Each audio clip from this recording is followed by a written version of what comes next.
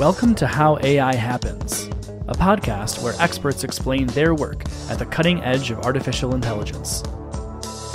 You'll hear from AI researchers, data scientists, and machine learning engineers as they get technical about the most exciting developments in their field and the challenges they're facing along the way.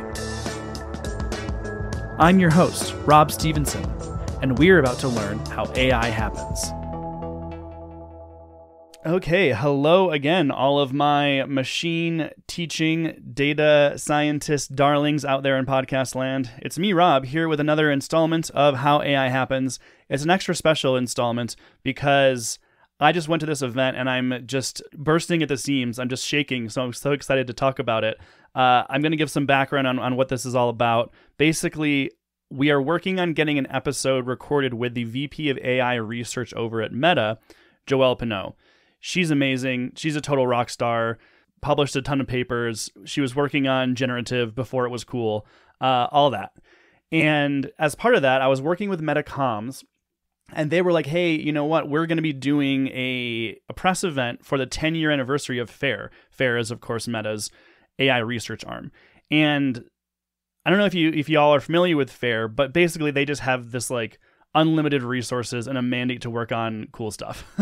and they are working on really, really cool stuff. And so part of this event was the folks over at Meta were just demonstrating what they've been working on and giving us updates on their models. And maybe it makes me look naive to admit how much my mind was blown by this stuff. I didn't know some of this stuff was going on. Maybe y'all are a little bit hip to that jive, but I'm just so excited to talk about it. And what I wanted to do is before we have that episode with Joelle, I wanted to bring in a subject matter expert from Sama to react to some of this stuff so I could report what I saw and then we can translate it into what it means in a more technical sense. So, in order to do that, I have brought on a friend of the show, returning champion, and the director of machine learning over at Sama, Jerome Pasquero. Jerome, welcome to the podcast. Hey, Rob, it's nice to see you again. You as well. Welcome back to the podcast, I should say, and with a uh, with a shiny new title. You've been promoted since the uh, the last time I had you on, so congrats. All right, thank you let's get right into it here, Jerome. One of the first things that stood out to me was this segment anything model. And it is basically annotation, but the bounding box is more specific and it's automatic. As so much computer vision is trained on segmented images, this was very exciting because it looks like, oh, that's just an automated way to do it. So I was curious, you know, I'm sure the folks out there listening are familiar with uh, Segment Anything. It wasn't launched at um, at this event. Obviously, it came out a few months back, but uh, they were showing some of the progress it's made. I was hoping you could kind of react to Segment Anything and whether you think this is something that is more for the consumer or is this something that can like replace the way we train some computer vision models? Yeah, great question. So it's a little bit of both, and and we refer to it as SAM. We've been following SAM for quite a little while, right? It's a really impressive uh, model or set of models, and, and it does like uh, not only like give you the bounding box, obviously, but also kind of like the, the polygons around the objects, right? Of course, like everyone else, we've experimented with it a lot, and it's it's uh, very impressive in the results and in how granular it can be. Now, um, it doesn't do everything though, right? Uh, in the sense that uh, you might get the polygon around the object that you're trying to detect, but then you have no idea about the attributes of that object, for instance. It's a little bit more difficult to do that. Uh, and also, it's really good on objects that it's seen before in its massive data set of object, objects it was trained on. Um, but like for stuff that it hasn't seen that much and a lot more specialized, uh, we found that sometimes it, uh, it failed or required a, a, human supervision, which is something that we actually uh, do provide at, uh, at Sama by making sure that we can correct these uh, these smaller, sometimes large errors that uh, such a model will make. So a good example of that, like you were talking about, whether this is helpful for like or useful in a consumer or, or more in a, an industry uh, mode. In industry, if you think of detecting all the different parts of a uh, printed uh, electronics uh, circuit, um, it might not do as well on this, uh, especially if it's got multiple multiple layers and multiple types of, of chips on it, and it, it, uh, because it's it hasn't seen as many right in the real world. It might do a really good job on 90% of the components, but that other 10% is just as important as the first 90%, and that's where uh, it might fail. But if we're talking more in the consumer world, like, you know, um, uh, presumably the data set that they used was mostly pictures of like um, selfies or, uh, nice uh, scenery. Uh, that's probably where uh, we see the, the best results in, in this uh, automatic segment- segmentation. Right. So the more specific the segmentation would need to be and the more attribute rich, the more you would need some more human annotation going on is the idea, right? Or the more, uh, I would say specialized, right? Like it's always comes back to how much of that particular type of features or specificity as it's seen in its training data set, right? The training data set that is, that they use that is available, it, eh, even if they collected some of it, presumably uh, doesn't have a, you know, a perfectly uh, equally distributed uh, classes across the board, right? So uh, some objects that it hasn't seen very often, it might not be able to segment them as well. And there are lots of lots of, of, of use cases in industry where you know it's very important to be able to do very well on these objects that are not commonly uh, seen. The segment anything model follows a lot of widely available AI right now, which is that oh, it gets you you know 60% of the way there. It like can take away some of the boring stuff. So say you were to you wanted to use it for a very detailed complex industrial application right you run this segment anything model and it gets the first obvious stuff out of the way, right? It's like, oh, that's you know, that's a microprocessor. Great. Something obvious so that the annotator can be more efficient, right? It's like now I don't spend half my time doing the really, really obvious stuff that like a toddler could point out. Um, now I can only focus on the stuff that only I can do, which this is the goal of a lot of current tech, I think, where we are. Is that fair to say? Yeah, it's correct. Yeah. So it's a great tool to get the easy stuff uh, out of the way. But uh, as I mentioned earlier, um, you're still going to have errors or things that need to be modified. There's things that like requirements that are different for a particular uh, company for a particular use case, right? So that's where the annotator still has a huge uh, role to play. And, and, and, and that's probably the most important role, right? Because uh, using SAM uh, is is almost off the shelf today, so it won't give you any competitive edge as a, as a company to use it, right? In your particular application, it's it's when you like start dealing with how do you deal with the specificities about your use case in your business that that you might get the uh, the, the, competitive edge and get the efficiencies, uh, the uh, gains that you're looking uh, after. So just to come back to yeah, the the the annotation at this level, we just get all of the easy stuff out of the way. Uh, we need ways to identify what went well and what didn't go well and what needs to be uh, um, uh, modified. So say, you know, it didn't quite uh, capture uh, a chip uh, properly. It didn't get the legs of that, you know, the little legs of that chip, whereas for that particular application, it's needed. Um, and then, like as I said, it's often um, it's not only about segmenting the object. We also have a number of attributes that are very important for that object, and that Doesn't give you those attributes, and those can be very, very detailed. Think of like um, whether there's a small flaw or not on that on that chip, whether uh, it's a particular model of chip, whether I, you know, you can think of a number of different, uh, sometimes up to 100 attributes for one just one object that we we annotate, and for that, uh, we haven't seen any. Uh, alternatives to using uh, human annotators today. Eventually, probably the models might be able to capture all these intricacies about the properties of the object itself. Uh, but it's never going to be able to capture all of them because again, they're very specific to a particular application and business. Uh, and even if they did, there's still going to be errors and these errors need to be uh, corrected by um, uh, either a domain expert or, or someone at least who's been trained in identifying the potential errors that the machine learning algorithm can make. Yeah, of course. There is that gap between automation and expertise slash specificity. Uh, I've noticed that even like with using ChatGPT, I've noticed it getting a little bit worse. And I've noticed uh, it was just not ready. The output is just like 50% of the way there, right? It's a good start. It takes away the obvious stuff, but there's still a lot more that needs to be added to it. You're right about about your your analogy with that with ChatGPT. I mean, like there's a lot of talk about like human augmentation. Some people believe in it, other people don't believe. I'm in the uh, in the, on the team who who believes that this is what we're trying to do over here. Like uh, human augmentation just allows humans to do things uh, better, faster, and get rid, at least for now, of the things that can be automated, but nothing, not, not everything will be automated. And then just, uh, it allows the human to kind of, uh, climb that ladder of cognition, like in terms of, of skills that they can, they can do, uh, and, and, let the, the, the more tedious, uh, uh, uh, work be done by the machine learning, algorithms as they become available.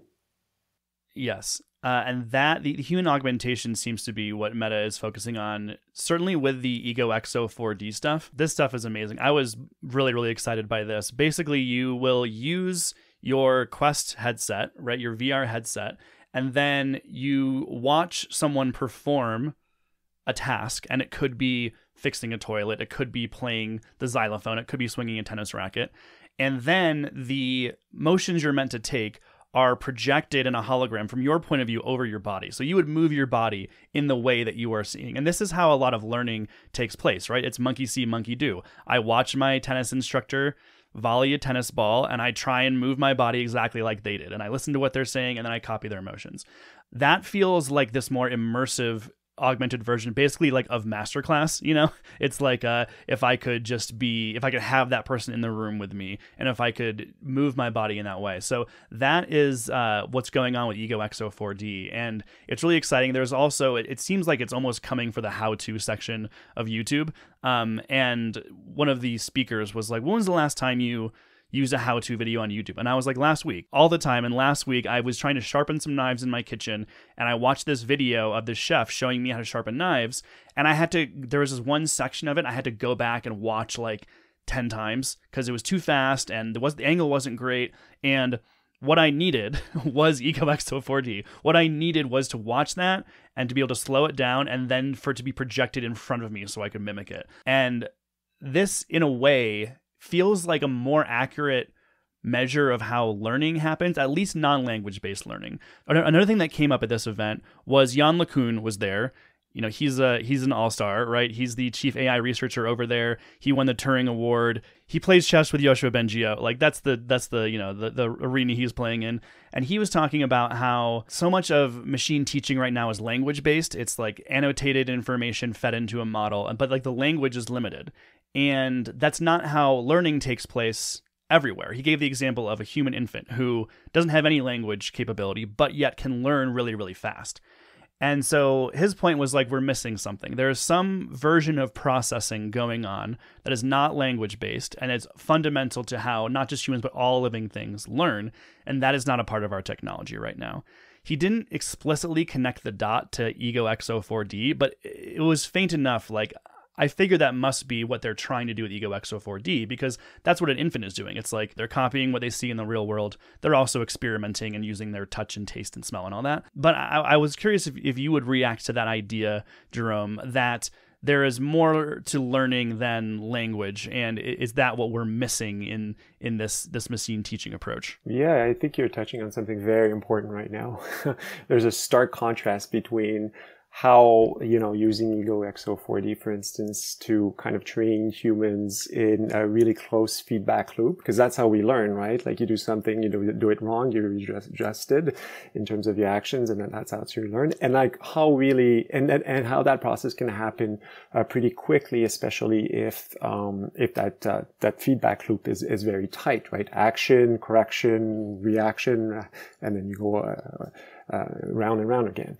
A, a contrast between that, which usually just requires a couple of iteration, unless you're trying to become a you know, professional tennis player, for instance, at a very high level. But other, other than that, like sharpening your knife, that happens uh, fairly quickly. I, I, would assume so.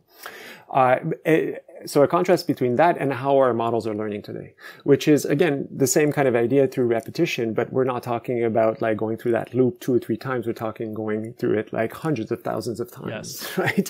Which is kind of crazy, as you alluded to, and and, and I heard uh, Yann LeCun say that multiple times. Like a child doesn't need a hundred thousand images of a fire truck to know what a fire truck is, right? and they can even see it in a different uh, form. Like the fire truck might be a physical toy, and they know what it is. It could be on the street, and they know what it is. I think that's that's an example that I'm two dimensions. So as much as we ha- we're seeing like huge uh, progress in in AI uh, thanks to deep learning most uh, mostly, uh, we haven't solved it. Like it's this is probably not the right approach, right? It is one component that uh, is probably important in the whole system. It has a very important role to play, uh, and and that's super exciting. But we're still missing something here. I would also add that it's not only on the kind of like sensory processing front, but also uh, on the on on just the reasoning part, like on the the level on top of that, where we haven't solved the reasoning at all. Like uh, uh, even in uh, autonomous driving, which could you, you know we could say is, is pretty uh, advanced in, in, terms of the processing of all the different modalities and everything. The, the model has no idea what it's doing, right, and why it's making any decision rather than than than another. So though, so anything that at the decision making level is still kind of really open for uh, for grabs here in terms of uh, of research and, and and and solutions. The other thing Yann pointed out was that it's not a data issue. It's not like oh, if we had enough you know annotated data, if we had enough language, we could do it because very quickly to, to train at you know these at billions of units of billions of uh, uh, points of data you very quickly run out of the entire corpus of text that's ever been recorded by humans, right? Not only that, but it's like you're approaching the problem in the reverse order than one would expect because you're starting from uh, the data, which is the manifestation of a reasoning process, and reverse engineering it to try to understand uh, the, the, the, key mechanisms that dictate this uh, the, the, system, right?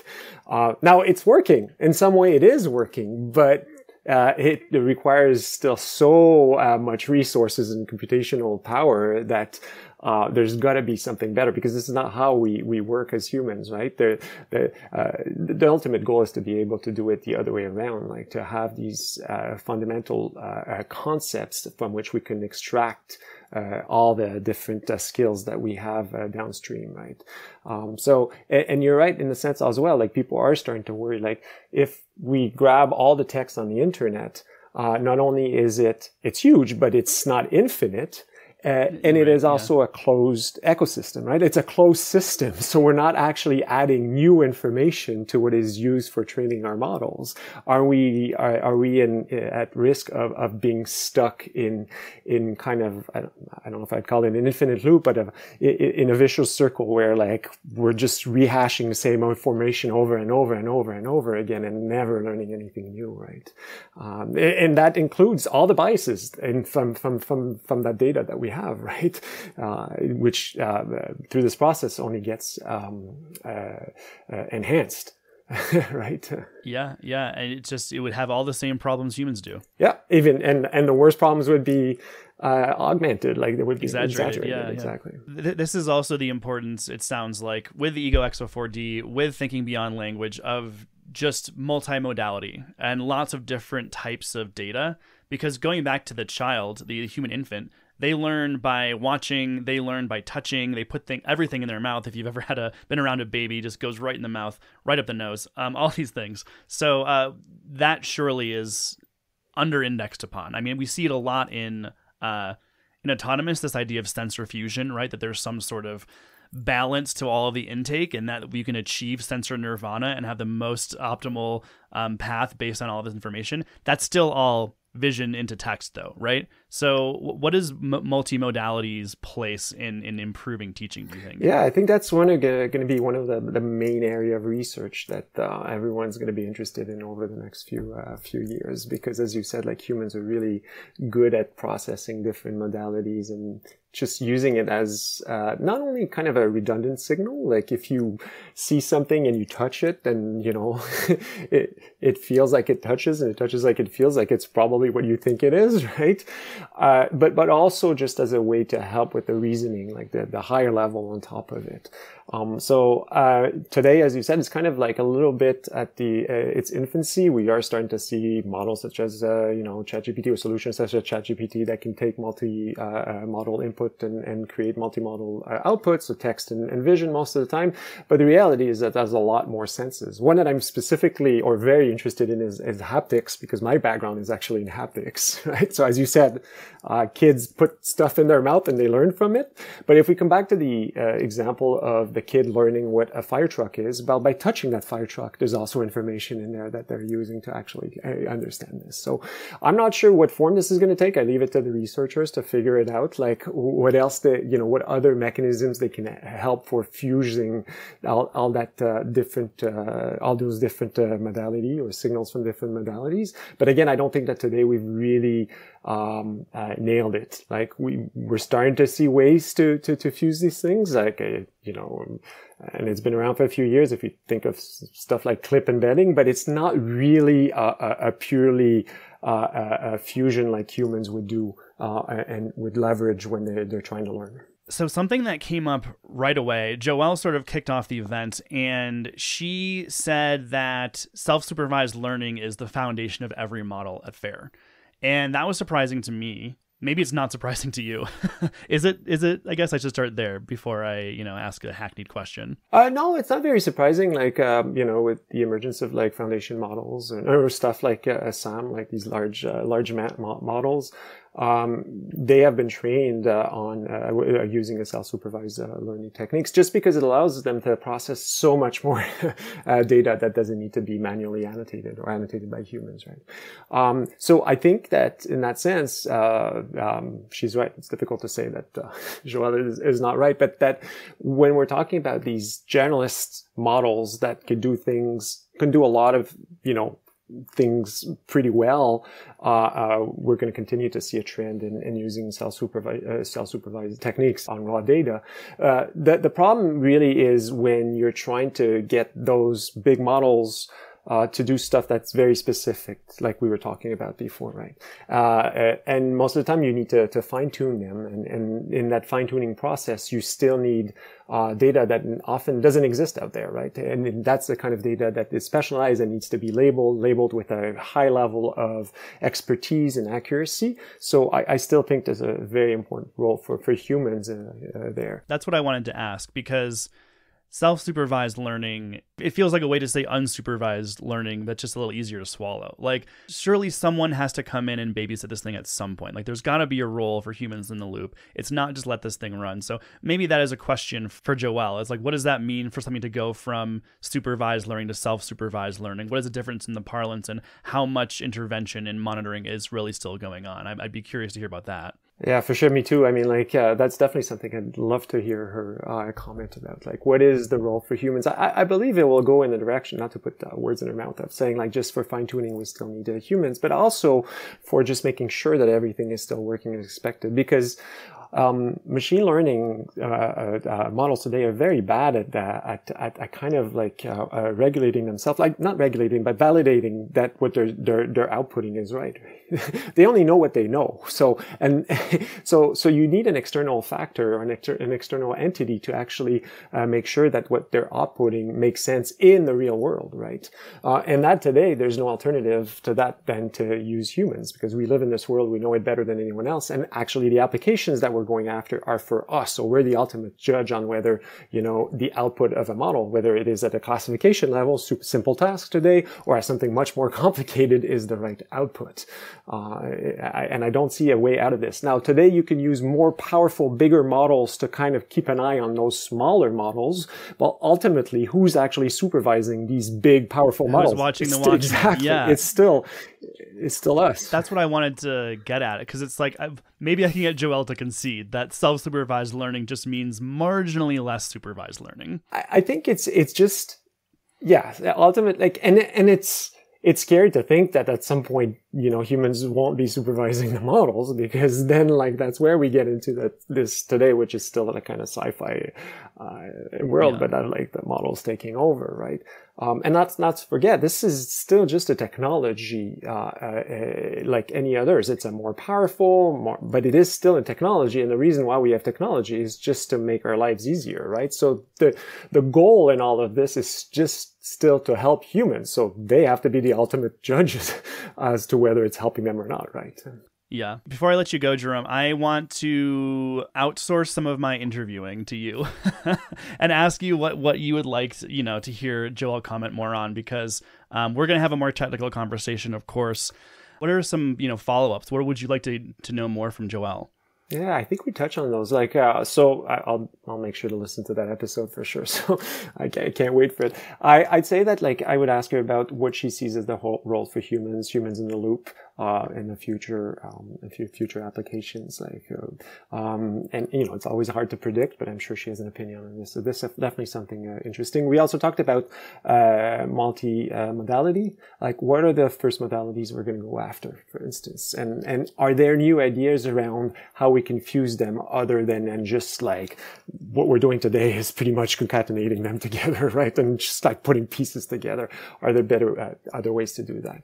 And and then a large question, but what is she most excited about? Because uh, um, that is always a great question for people like us who listen and I get inspired about like where to put our our chips right on the on the table in the, in the in the future. Because if if a researcher of that caliber is excited about something, uh, there's a better chance that it's going to happen than if, if they're not right. So it's a little bit purely. yeah, uh, um, but yeah, I, would go around those uh, those uh, themes for sure.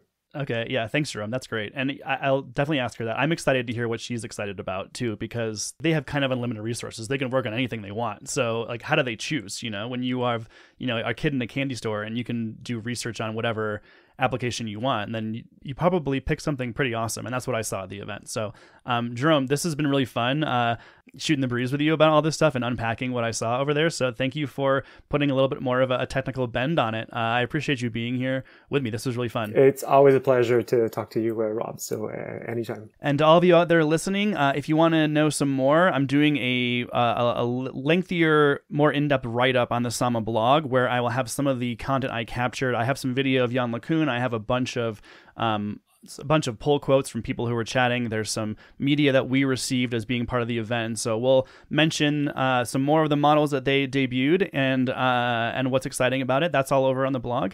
And yeah, thanks for tuning in. Uh, until next time with Joelle Pineau, I've been Rob Stevenson. Jerome Pasquero has been Jerome Pasquero, and you've all been amazing, wonderful machine learning engineers, AI specialists, data scientists, whomever, however you showed up. Thank you for being here. Have a great one.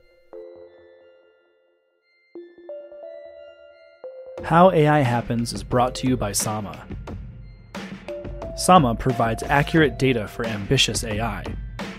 Specializing in image, video, and sensor data annotation and validation for machine learning algorithms in industries such as transportation, retail, e commerce, media, medtech, robotics, and agriculture.